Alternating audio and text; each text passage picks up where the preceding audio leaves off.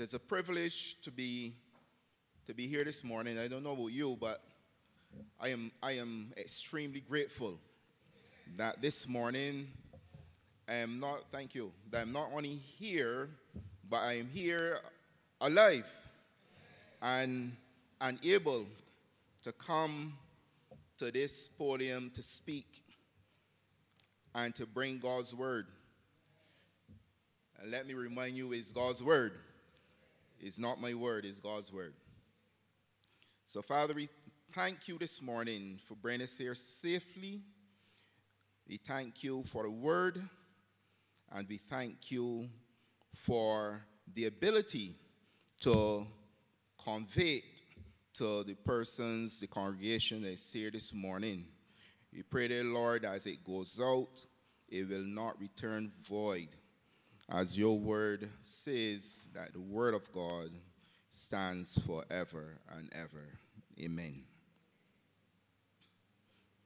This morning, I am going to present to you a version, and I'm saying version because the faithfulness of God is the, the topic, and I know that the faithfulness of God is so broad that another person may come and have a different perspective altogether. But one thing that we can be sure of this morning is that God is indeed faithful. When we look over our lives and we think about the decisions we have made, the good ones we have made, but especially those bad ones.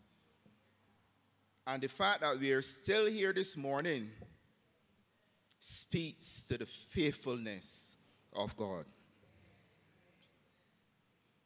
With those words, I can return to my seat, but I will proceed. So, what, what is meant by the faithfulness of God? What is meant by being faithful? And my research tells me that being faithful means remaining loyal to someone or something or to some ideal. It means being steadfast in affection or allegiance. We can have a friend, a faithful friend. That is someone who is always there for us through thick and thin, someone who have our back as we would say. It means so taking a firm stance in adherence to a promise or in observe, observance of duty or fulfilling an expectation.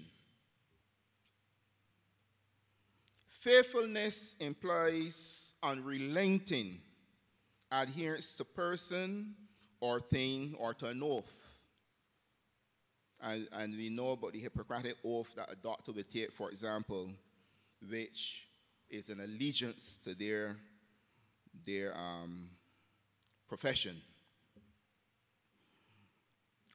or to an agreement that was made. But we go a little further when we speak of the faithfulness of God, because what I have described just now relates to the faithfulness of man. But we are going to look at the faithfulness of God, which means that God is unchanging in his nature. He is true to his word. He is true to his promise of salvation of his people. And he will keep those promises forever. He cannot go against his promised word. He is worthy, my friends. He is worthy of eternal trust, no matter how unlikely that promise seems to be. Because sometimes when God makes us promises, and we see this throughout the Bible, we doubt God. We don't believe that God has the ability to bring that promise to truism. We don't believe that God has the ability to bring that promise to reality. And we doubt God and we begin to do things on our own. And there we fall into despair. So God is faithful not because we say that God is faithful, but God is faithful because the Bible says that He is. And friends, that Bible that we read, that is the center of our Christianity, if we don't believe it and we don't believe in what is contained in it, we could as well throw it away. So the fact that we continue to read it and continue to believe it implies that we believe the word of God. God is pure, and therefore his faithfulness is pure and true. God, God cannot, because of his faithfulness, he cannot go against his very nature. He cannot go against his character that is personified and exemplified in the Bible. Sometimes, in some moments, we have, we call on God. Because in our mind, God is faithful, He'll turn up for us. But sometimes we are wondering, where is God? Where's God when we need Him most? We say sometimes. But the Bible, the same very Bible, tells us that even when we believe that He is not close by, He is right here next to us. He is shielding us from even worse situations that we are in. And He is so faithful that even in our valleys, He will remain with us and bring us through. And we can depend on that because of His faithfulness. Now, this does not mean that everything we ask for, every prayer that we pray, that God is going to answer the way we expect Him to answer. Because not everything that we pray for is good for us. And because God is an all knowing God, He knows what is good for us. Friends, the real challenge in our belief in God's faithfulness is when we con- continue to experience unanswered prayers and when the trials of this life, and God knows that there are many, those trials put us to the test. What happens when the beautiful grass is no longer green? Do we remain faithful to our belief? Or do we get discouraged and lose our trust in God? Do we still believe at those moments when things are not going our way that God remains faithful. Now, if we read our Bible carefully, we will realize that God does not promise to give us everything we desire. Instead, as shown in Romans 8:28, he says that he will work all things together for the good of those that love him and are called according to his purpose. And God knows, as I mentioned before, what is good for us because he is an all knowing God. Now, in my research on this topic, I came across a little poem that I thought was apt for this presentation. It was written by John Puckett. And it says, the title is Why Should I Doubt? And it goes like this Why should I doubt? Why should I fear? When Jesus, my high priest, is near, would he desert his blood bought child and let him sink in sin defile? Has he not loved and grace combined, with power and wisdom sweetly twined?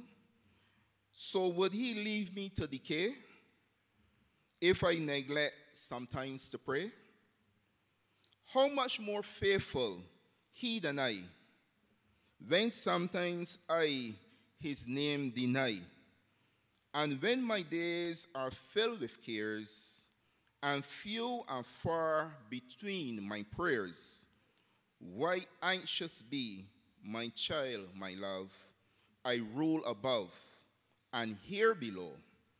Do you not know that sun and storm, and smooth and rough, all good and ill, are subject to my will?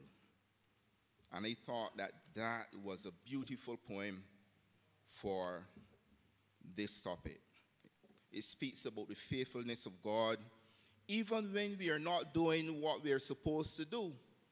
Even when we are not behaving in the way we are supposed to behave, God does not change his character. He still remains God. So God's character is not dependent on whether you forgot to pray this morning or not. Because if he's faithful to you and he promised to bring you here safely, he will act on his promise and bring it to reality. And that brings me to a little experience I had recently um, as I was driving to work on Friday morning. Me and Jan, as per usual, and there was a song, and she likes to listen to 97.5, which is the gospel station. And there was a song called Too Faithful by Moses Bliss that was being played at that point in time as we wind our way down um, to Combermere, going through Waterford Bottom. And the song was sweet. And we began to, we began to clap and sing along and so on. You know the song Too Faithful. We are, uh, how it goes, are, you're too faithful to, to, to, fail me. You're too faithful to disappoint me. And so on. A, a nice song, beautiful song. I like it. And I forgot I was driving. As I closed my eyes and I began to clap to this song. God woke me up and said, Listen, boy, you're driving. And as I woke up from the sweetness of that song, there was a car right ahead of me, and I smashed on the brakes just in time. And I, I, I, I told Jan, you see, we were listening to the, a song called Too Faithful. And there's a perfect example of the faithfulness of God. Now, Jan um, insists and gives over text to this that we do devotion every night, even when we dog tired. Sean said, Daddy, we gotta do devotion. All right, let me do it. And in that, after devotion, we pray and we ask God, especially, to take us to, to school and to work and so on safely. And that is where the faithfulness of God comes in because we ask for God to be faithful to us, to take us safely to our workplace, take us safely to school. And he explained to her at a point in time, there, as we sang that song, God put that example right there for us to see. Amen. Now, the Bible, the, the best known declaration of the faithfulness to God, or one of the best known declarations of the faithfulness to God, must be found in, in Lamentations 3.23, when the prophet Jeremiah boldly declared, Great is your faithfulness. In context, it sounded like this Through the Lord's mercies, we are not consumed. That's because He is so merciful. We are not consumed because His compassions fail not. They are new every morning. Great is your faithfulness. That's the truth. God is faithful. It is a truth affirmed many times in the Bible. Like in Psalms 36, verse 5, which says, Your mercy, O Lord, is in the heavens, your faithfulness reaches to the cloud. This scripture speaks of God's faithfulness in noticeably big terms, and rightfully so. God the Father is faithful, church. Jesus Christ is faithful. Of this we can be sure. But there's a question we need to ask faithful to what?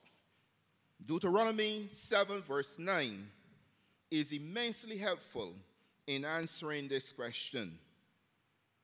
It says, Therefore, know that the Lord your God, He is God, the faithful God who keeps covenant and mercy for a thousand generations with those who love Him and keep His commandments. So, those are the conditions of His faithfulness. You must love Him and keep His commandment.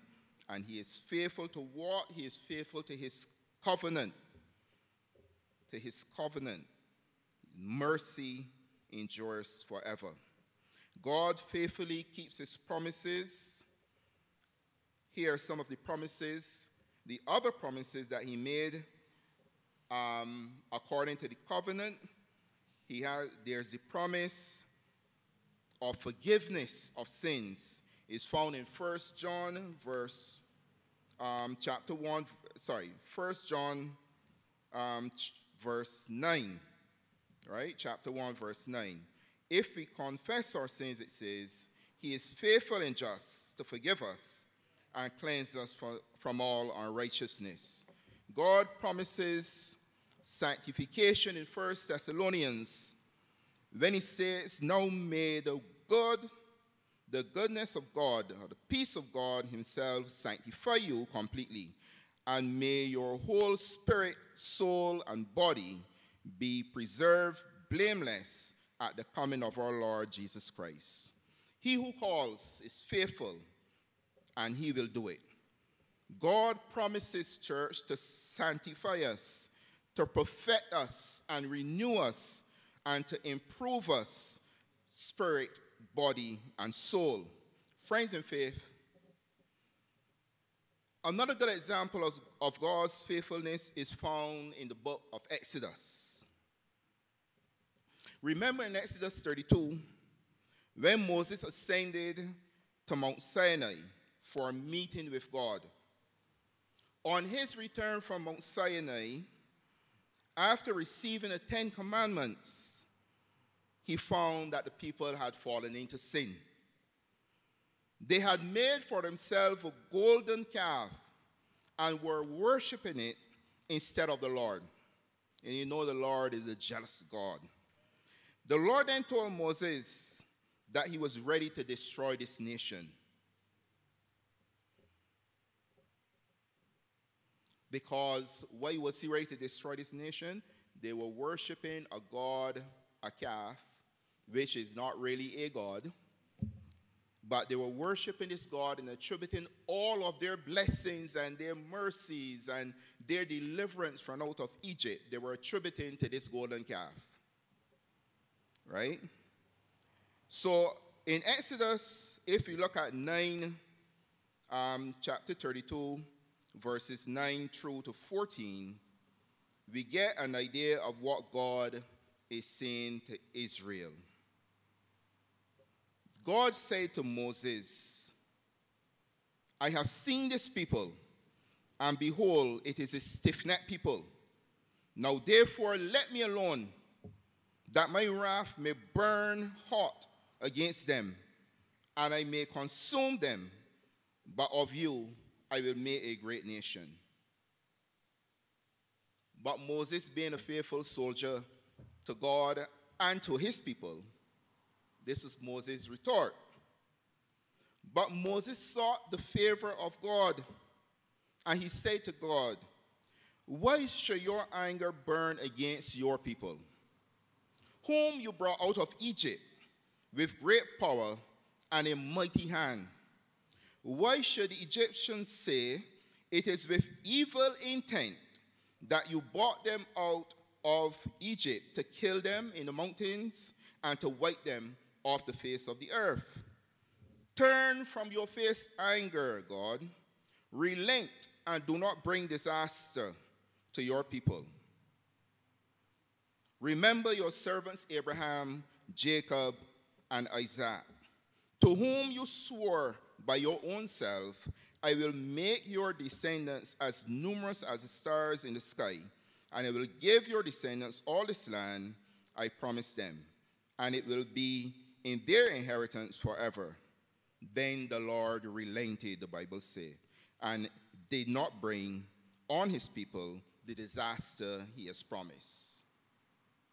Right? And some of the scholars went on to speak about God changing his mind at this point in time.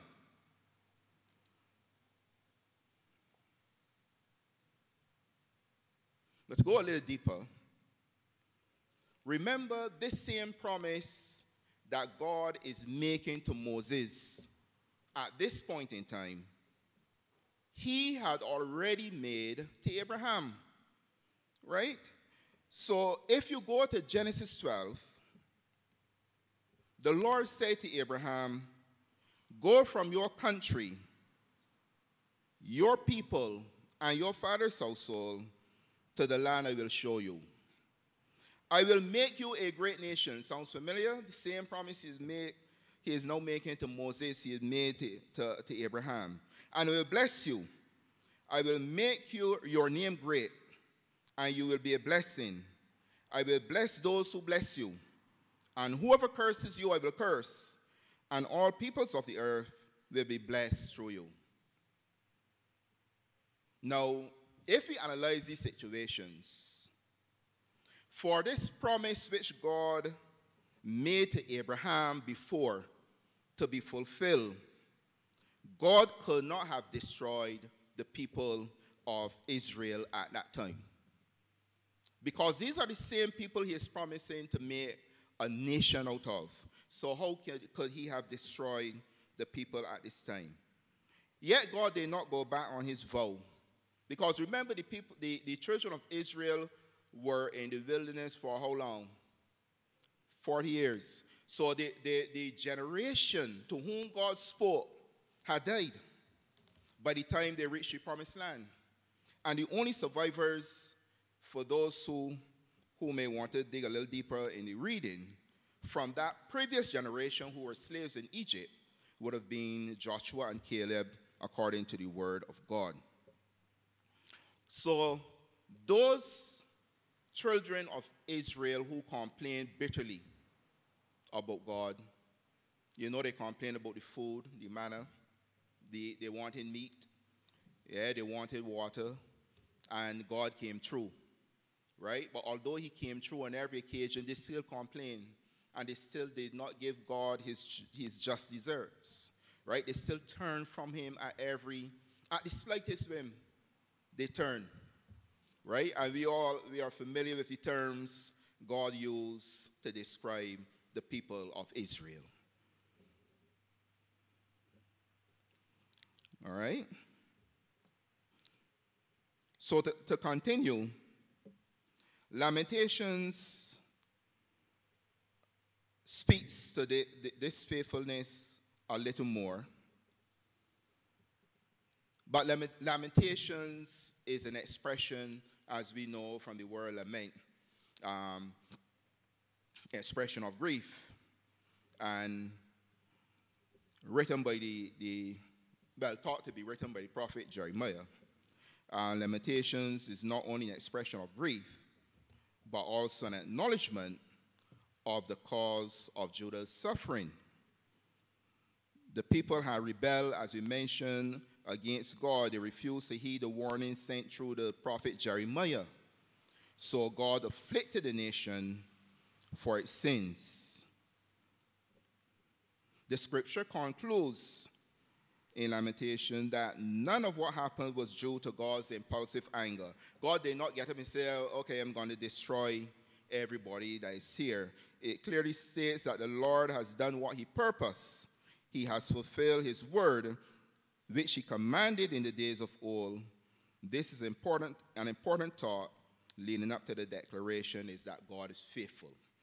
Great is your faithfulness because what God states He's going to do, whether it is good or it is bad, He will do it.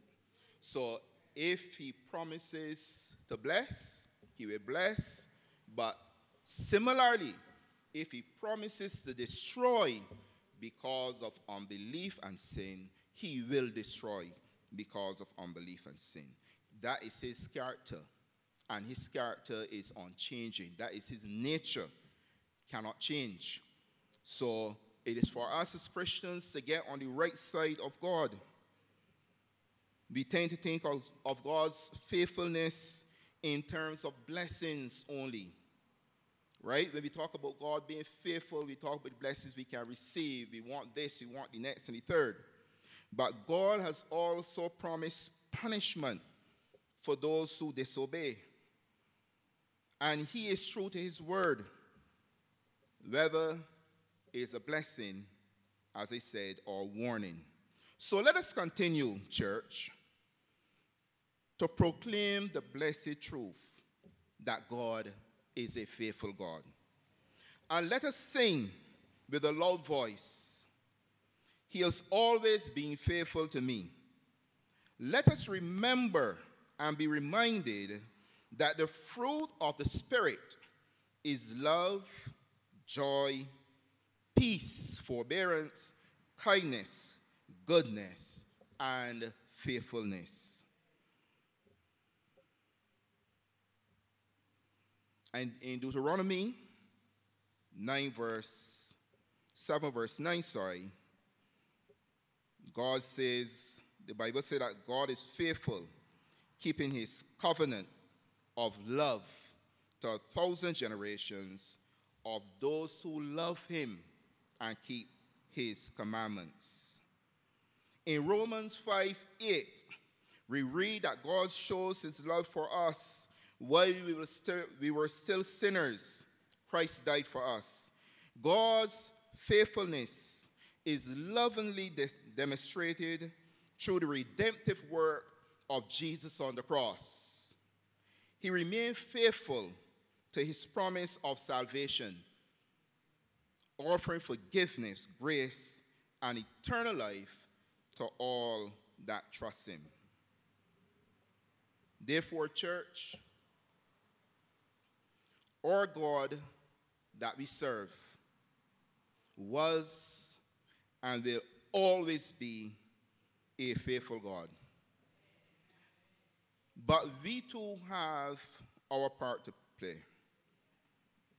We do not get off scot free. We have our part to play in this quote unquote arrangement. We must be obedient to the everlasting word in order to receive the blessings and the promises of God. So I implore you today as we reflect on this word, that we bear in mind one, that God is a faithful God. But in order for us to benefit from his faithfulness, we must love him and keep his commandments. Have a great day, and God, may God bless you abundantly. So, Father, we thank you for the word. We hope, dear Lord, we pray and hope that as it went forth, Lord, it touched the hearts and the souls of your people. And that as they go through the week, Lord, that they will reflect on it and it will guide them in their spiritual walk.